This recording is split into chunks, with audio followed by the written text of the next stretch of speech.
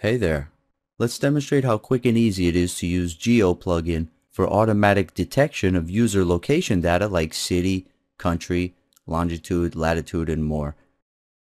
Okay, fire up your favorite code editor and create a new example.php file. Now the first thing we'll do in our PHP script is get the user IP address, which is a very simple procedure in PHP.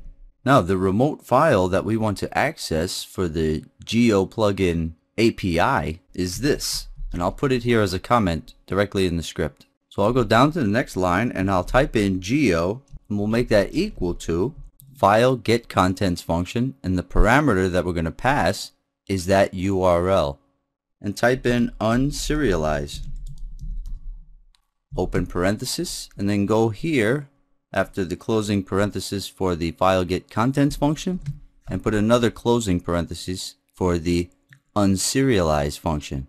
So remember, file get contents on this URL is going to return a serialized array. Then we unserialize it to make it an array object in PHP. And then this geo represents that array object. This variable geo represents the array object. So the next line down, let's type in country is equal to we just put our geo array object, put opening, closing brackets, semicolon, and in between the brackets, we're going to put a string, and that string is going to represent the array element that we want to access. In our case, since we want the user's country, we're going to put geo plugin underscore country name. Now you can now echo the country variable and the user's country will display. Now let's go ahead and copy this line and paste it a couple of more times. And the first thing we'll access is the city. The next one will get the region. And then lastly, we'll access the country. So this one can stay the same. For the region, we put geoplugin underscore region.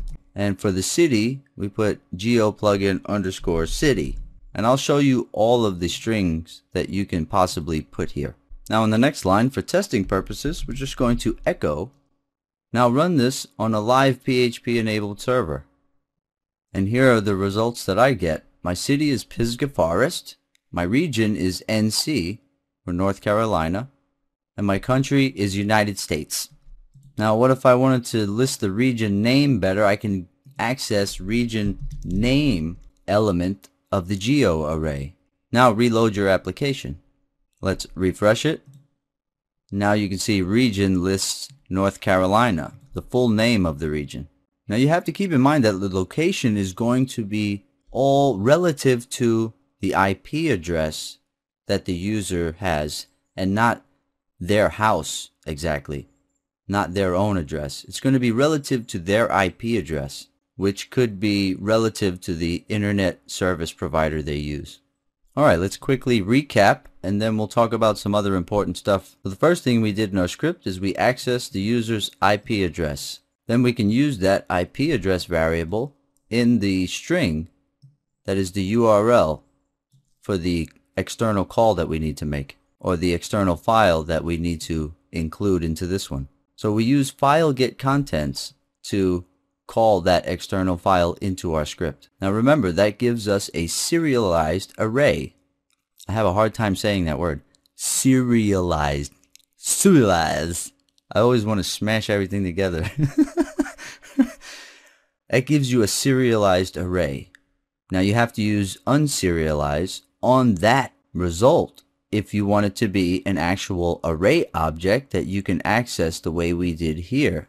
Now, I'll just throw in a comment here, a multi-line comment that shows all of the different strings that you can access. You can get their latitude and longitude to plot them on a map. So you can actually plot anyone onto a, a Google map if you want, according to their latitude and longitude. Now Geo plugin is a free API that uses databases maintained by maxmind.com, which most other geo IP services also use the maxmind.com databases. And I want to stress that there are many geo IP APIs available for PHP if you do some looking around.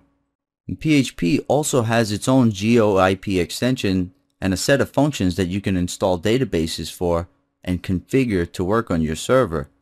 So you have to actually go in and configure your server to work with the GeoIP extensions that PHP offers. And PHP's GeoIP functions also rely on databases maintained by maxmind.com.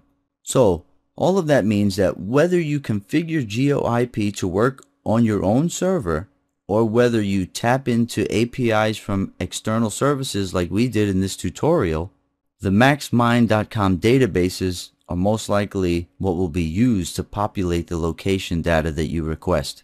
Now, another thing that I have to note with you is that GeoIP data can also be accessed using JavaScript and other languages. PHP is not the only technology that can access this information within your programs. And that's pretty much everything you need to know. I'll see you next time.